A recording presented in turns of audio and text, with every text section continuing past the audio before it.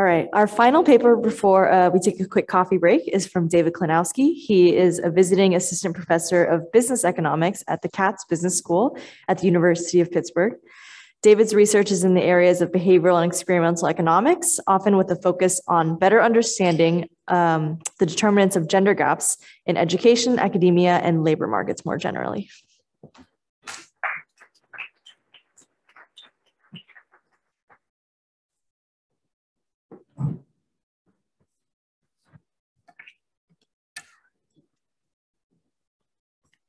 All right. Um, thanks so much to the organizers for um, including me in the program. Uh, so this this project asks who writes post-publication criticisms with a focus on gender differences. Uh, so sociologists of science and uh, philosophers of science have described how scientists advance knowledge by uh, generating new ideas, what they call conjectures or discovery, but they, they, they also generate ideas or advance science by uh, criticism and debate of ideas, what they call refutations or resistance by scientists to scientific discovery. Yet we rarely, if ever, make this decomposition of science into these two components when we study gender differences in participation in academic science. We know, and we've heard today, uh, that women are missing in science um, uh, in many different ways or dimensions. Uh, for example, uh, as authors in the scientific literature, uh, in the faculty of most fields. But the question I ask in this project is, are women missing even more in the criticisms component of science? And I argue that studying this question can help us to better understand when and why women might be missing in, in academic science. The way I study this is by looking at two standard or formal ways scientists communicate post-publication criticisms in the literature. One of them is by commenting by writing comments to uh, criticize or correct a published paper. And the other one is uh, with uh, replications that disagree with a previous finding. And I'll give you examples and details of this in a second. Um, but what I do in the project is I um, document, I use bibliometric data to document gender gaps in authorship in these types of papers. Then I use the data to explore some potential mechanisms for these gender gaps. And finally, I use an experiment to probe on one potential mechanism more, cle more cleanly, uh, which is related to behavioral gender differences. Uh, so today I'll just talk a little bit about the comments, replications, experiment, and I'll, I'll close. Uh, so as I said, comments are short papers or um, notes intended specifically to criticize or correct a published study. Uh, comments are typically peer-reviewed and submitted for publication to the same journal as the article being commented on. They are relatively rare in economics, uh, the field I work in. For example, in the AER, you see on average a comment for every 17.5 papers, but they are more common in other fields. For example, medicine, in JAMA, I see on average a comment for every 1.1 paper. And they can be important for the literature and for the commenter. Uh, for example, in, in nature, the likelihood that a paper gets retracted grows nine times after receiving a comment. And while certainly comments do not receive as many citations as regular papers, they can be well cited. For example, in the AR, the 25% most cited comments receive more citations than 25% of papers in the AR. So even by the st high standards of, of the AR, comments can be well cited. Uh, but comments can also take a confrontational tone, and journals themselves have sometimes contributed to framing comments in a confrontational tone.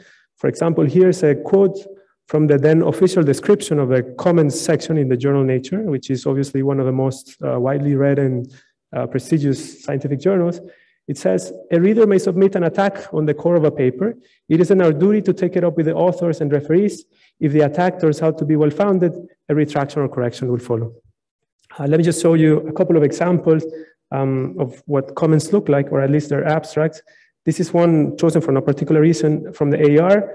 It more or less says a previous paper estimated some effects. Uh, however, we find that these uh, effects are inflated, and we propose an alternative estimation strategy.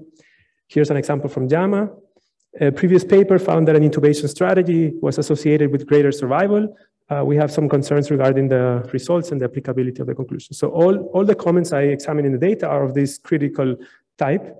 And Um, in, uh, the data consists of all regular papers and comments published in a period of seven to 22 years in these six journals, the AER, the ASR, which is a flagship journal of the American Sociological Association, JAMA, the flagship journal of the American Medical Association, and the three foremost multidisciplinary journals, Nature, PNAS, and Science.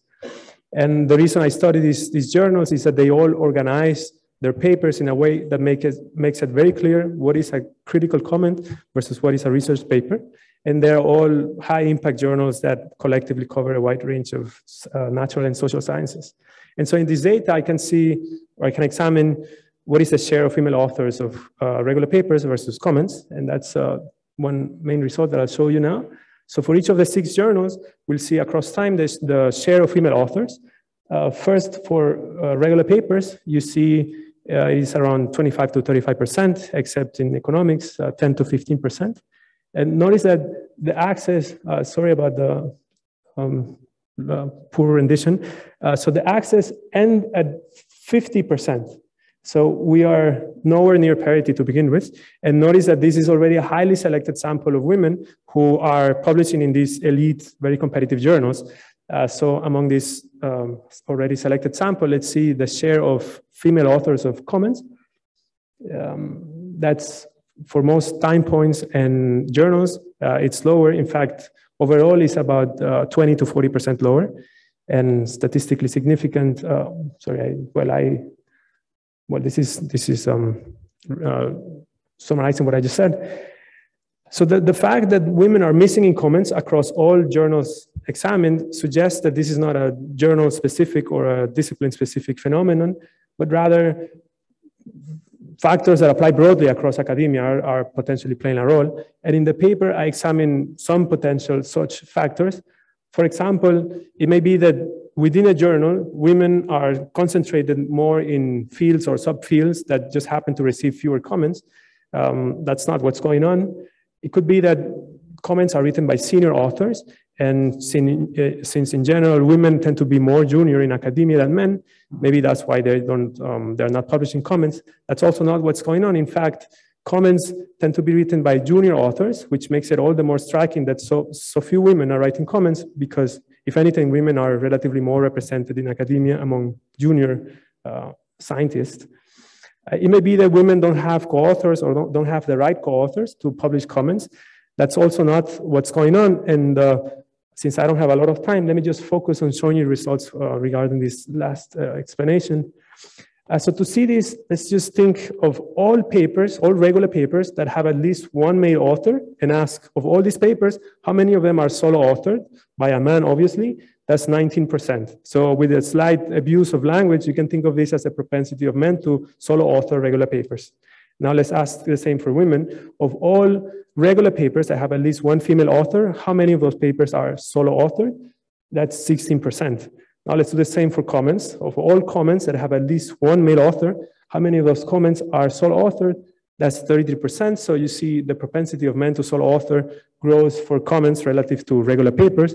Uh, now for women, that's zero. In fact, there are no female solo author regular papers or female solo author comments, sorry, in the AER in the 21 years of data that, that I observe. And this is similar across across journals. Uh, so the propensity of men to, to grows for comments. Uh, for women, it drops. Uh, for JAMA, for women, it grows, but not nearly as much as it does for men. Uh, the same for Nature, uh, PNAS and science. And uh, yeah, this table again, just to say that these are significant differences in differences. And so obviously there are many, many explanations um, uh, or many factors that could, could be contributing and are probably contributing to, to, the, to these gender gaps in criticism that I, I just showed and are factors different from the ones I mentioned. Um, so now I'll show you results from failed replications. And one nice thing about the data from failed replications is that they can speak a bit to some of these other potential mechanisms. So for example, it may be that um, women, they criticize as much as men, but um, perhaps their criticisms are getting, or their comments are getting rejected during peer review more often. Or it may be that women just have to prioritize novelty more so than men, right? So obviously in the profession, we value original papers more than criticisms. And so if women face greater barriers to career progression, perhaps it makes sense for them to focus more on writing regular papers and not criticisms. Uh, so the, the data from failed replications will be able to speak a bit to, this, to these mechanisms. Uh, so the data on this part comes from bioRxiv, which is the leading pre, uh, repository of preprints in the life sciences, and it covers uh, a wide range of, of life sciences. Um, so, um, I, I, look in this data at all preprints I have been posted on the, on the platform from its start in 2013 to, to the end of 2019. And uh, what's, what's important for me is, or one, one nice thing about this for me is that preprints once posted can be edited but cannot be removed from the platform.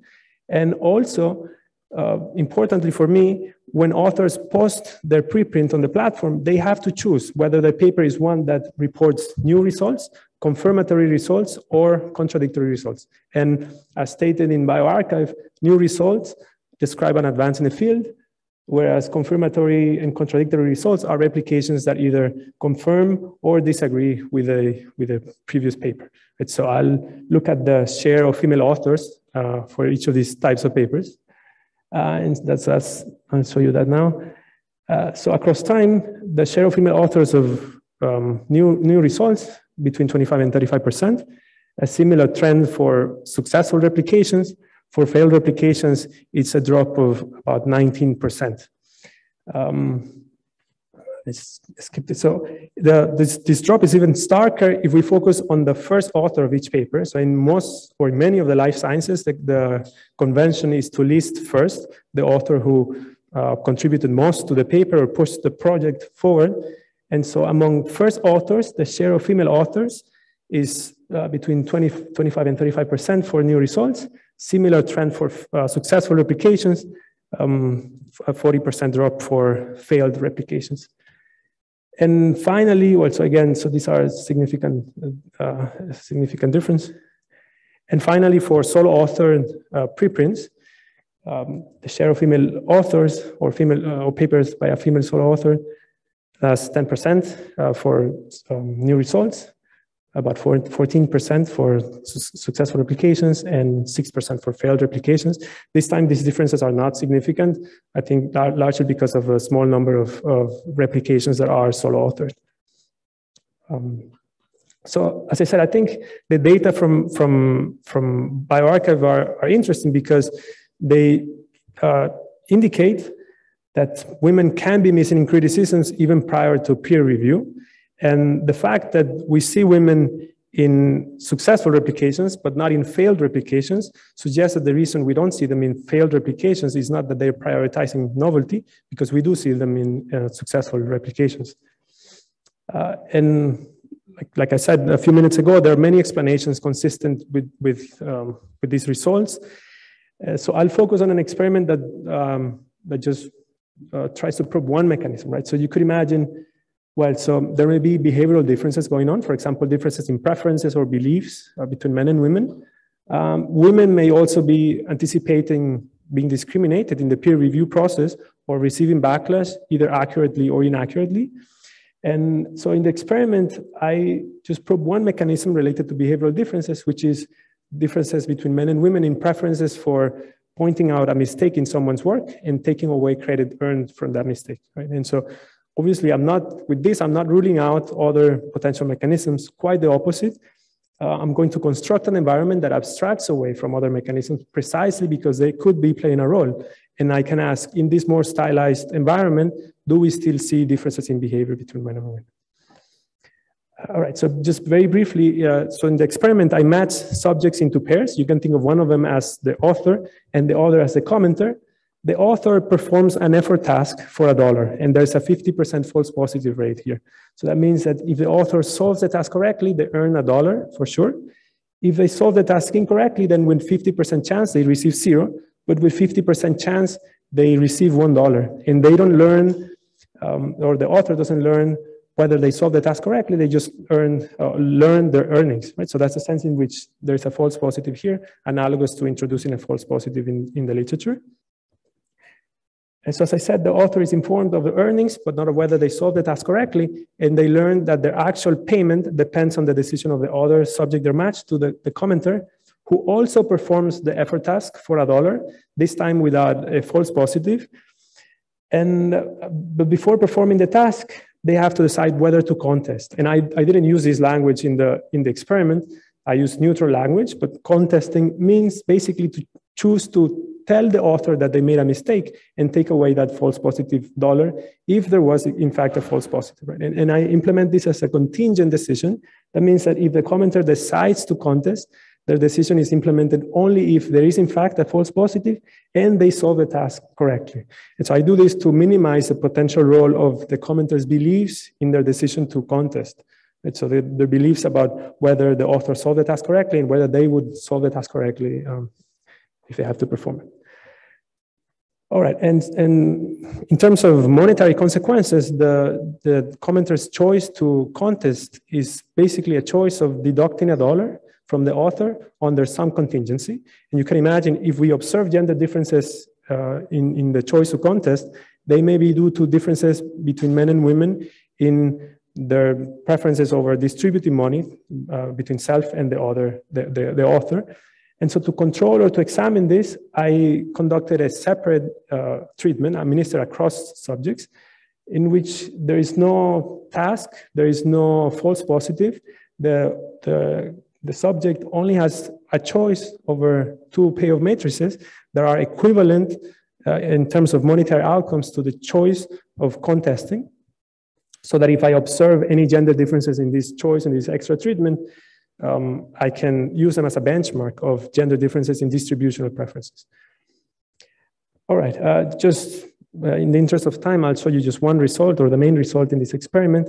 I'll show you the share of subjects that choose to contest first in this main treatment. Uh, first for men, uh, that's 40%. Uh, for women, that's 16%. And now let's see uh, in this additional treatment, um, the share of men and women who make the equivalent choice uh, in terms of monetary outcomes. Uh, that's 16% for men and 5% for women. So one interpretation or, or, the interpretation I take from this is that women are about 60% less likely to choose to contest in the experiment. About half of that gap is explained by distributional preferences, but there's a significant residual gap that perhaps is attributable to um, or, or they're motivated men to, to contest, uh, perhaps because you know they're more motivated to tell the other person that they made a mistake, or there's something about taking away credit earned from a mistake. All right, uh, yeah, and so this summarizes summarizes what I just said. All right, um, so I just want to conclude um, by just um, again reminding you. So in this project, I asked, are women missing even more in the criticisms component of, of science. Uh, they are missing by 20 to 40% in published comments. Comments are published in journals. And this is not explained by sorting into fields, by seniority, or by co-authorship.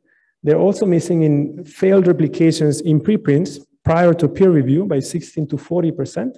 And it doesn't seem to be explained by women prioritizing novelty over criticisms. And then in the experiment, uh, in this environment stripped away of compounds uh, in academia, I find that women are uh, 50 to 60% less likely to point out a mistake in someone's work and uh, take away credit earned from that mistake. Uh, and finally, I think these findings or these results raise questions for us to think about. For example, how much is the process of knowledge accumulation and self-correction in science delayed by the fact that we don't have uh, or we're missing female author criticisms? If we think of academia as a labor market, how much are women's outcomes affected by their lack of participation in this part of, of academia, or are they affected by their participation in, in, uh, in criticisms? Uh, do current proposals to increase replications, for example, uh, to have journals um, have a section for replications, just like they have uh, for comments, uh, or to commission replications with guaranteed publication, would that attract men and women equally? And finally, can we redesign the incentives and the way we conduct post-publication criticism in a way that would attract uh, especially women, but also men uh, into this important part of, of science? Right, that's all I have. Thank you.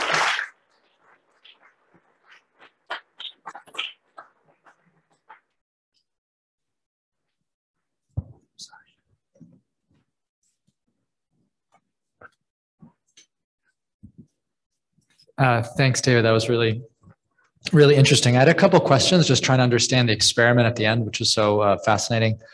Um, first, I was just curious about what the population was of the men and women, and you know, usually these are undergrads, but um, to get closer to the population of scientists, I don't know if you could try to run such an experiment, or if you did among PhD students or people who are kind of entering the research field, just to get a more comparable population to to scientists. Um, the second one, second question relates to um, you know this last point of the willingness to sort of take away the dollar and the willingness to engage in this kind of criticism.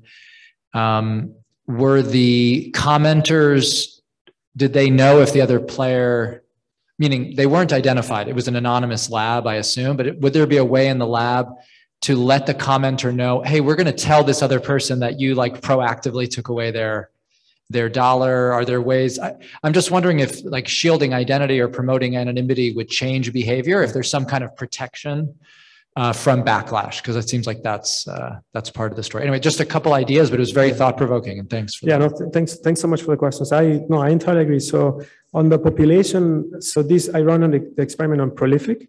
So these are not uh, undergrads.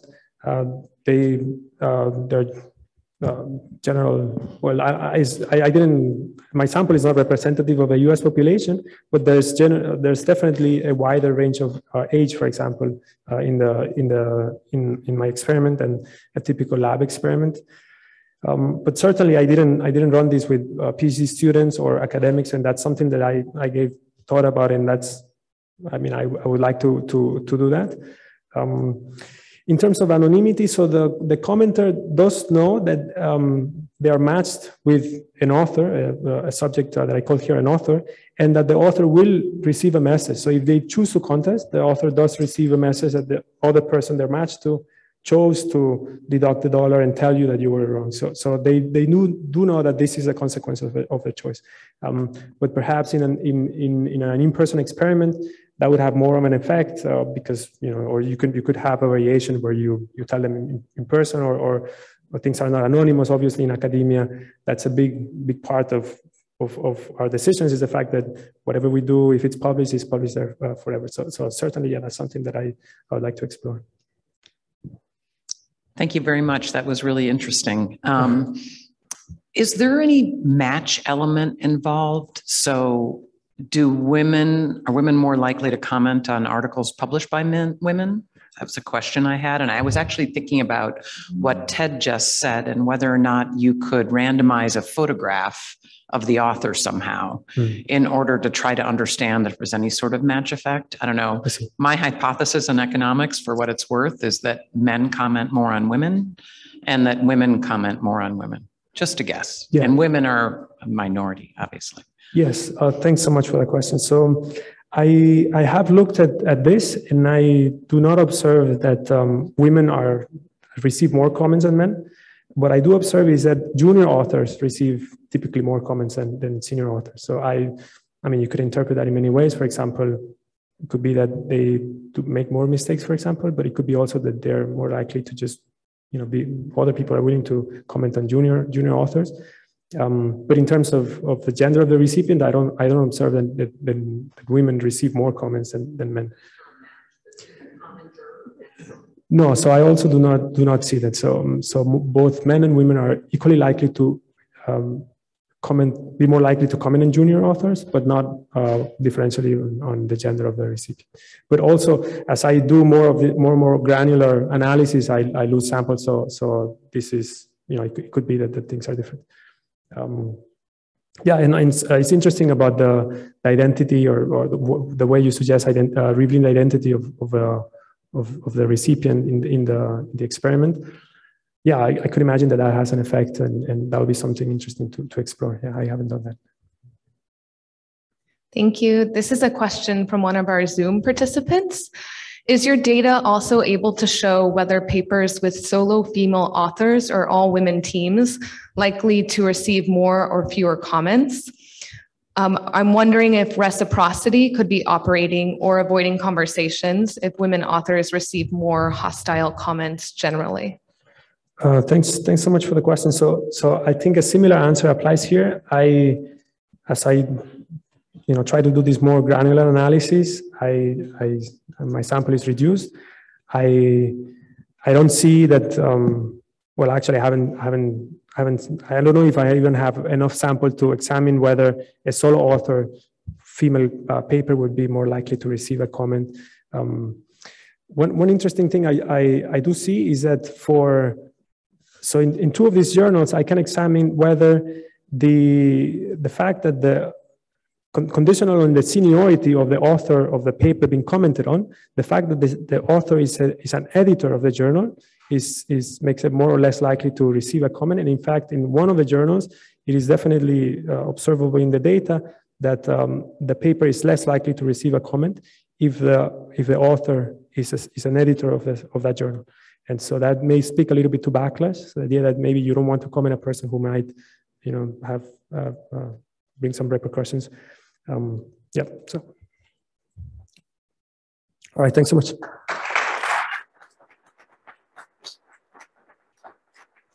All right. Thank you to all of our paper presenters. We're going to take a quick coffee break now. So please feel free to grab some coffee, use the restroom, get some sunlight in the courtyard, and we'll resume shortly.